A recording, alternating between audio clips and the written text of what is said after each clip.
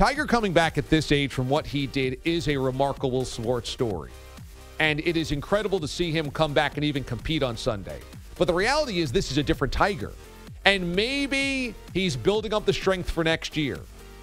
Maybe he's not all the way back health wise. But it almost felt like Tiger's command of the moment, Tiger's intimidation factor on others, Tiger making other guys melt into a puddle as he becomes the Tiger, that part's gone. And I think part of this is that he's competing against guys that grew up watching him, preparing for their competition against him, and are ready for that competition. I mean, Brooks Koepka's 28 years old. When Tiger is winning his first major, Brooks Koepka is like 10.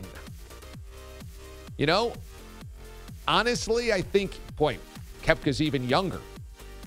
I mean, Brooks Koepka is watching at eight years old, 10 years old, 12 years old, into his teenage years, Tiger. And I think the same thing is happening across the tour, whether it's Rory, Jordan Spieth, Dustin Johnson, Jason Day, Brooks Koepka.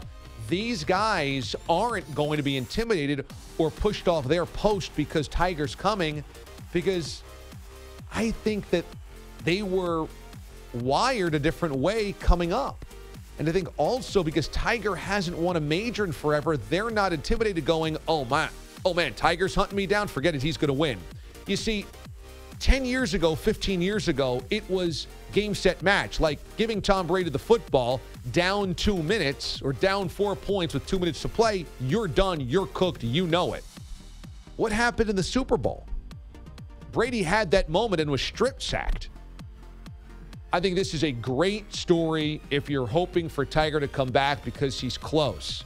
But the reality is, the old Tiger finishes at the British Open. The old Tiger finishes yesterday, and the new Tiger doesn't, which certainly shows his mortality, his vulnerability, his humanity, and how different this edition of Tiger is.